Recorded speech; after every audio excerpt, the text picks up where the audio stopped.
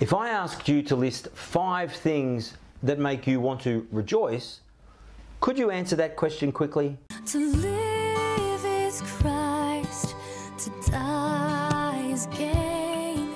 G'day everyone, Brian here. When we work together, we achieve together. When we achieve together, we celebrate together. And when we celebrate together, we can rejoice together. Later on in this little book of Philippians, Paul will write some words that have been inspirational ever since they were written.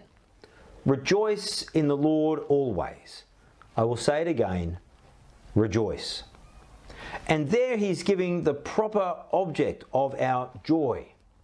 Rejoice in the Lord. I say it again rejoice. Before we get there, though that's good to keep in mind that that's the, the goal to live as Christ, to die as gain, that's our goal. Before we get there, Paul is recognizing the relationships that exist within this church in Philippi, of which he has been a part, even though he is absent from them now.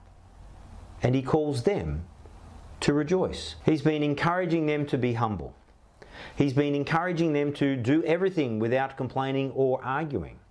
He's encouraged them to be pure and blameless, to be children of God without fault in a crooked and depraved generation, to hold out the word of life, to shine like stars in the universe as they do so. His desire is that he will have reason to celebrate with them, to rejoice with them, even to be able to boast about them when time is finished. But until then, he says this in verse 18 of Philippians chapter 2 So you too should be glad and rejoice with me. When we work together, we can achieve together. When we achieve together, we can celebrate together. That's a football team. Uh, that's any kind of team that, that that happens in. And when we celebrate together, we rejoice together.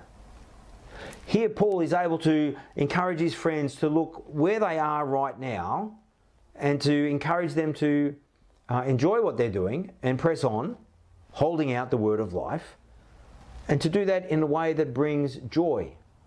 Joy to themselves, joy to each other, and certainly joy to Paul as he pours himself out uh, for these people. And why?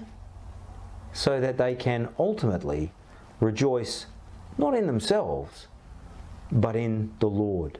Who is the Lord? His name is Jesus. Next week, I'm going to spend five days on the five key words of Christmas. Five key things that help us at Christmas time. I hope you'll come with me in that journey and see why we can rejoice in the Lord always and why we can do that together. Have a great day today. I'll see you next week.